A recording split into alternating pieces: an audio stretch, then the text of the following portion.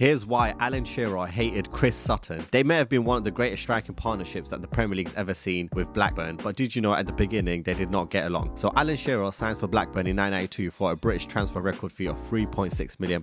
Shearer becomes best friend with his Blackburn striking partner Mike Newell. Two years later in 1994, Blackburn want to sign the new hottest striker in England, and that's Chris Sutton from Norwich. They buy Sutton for £5 million.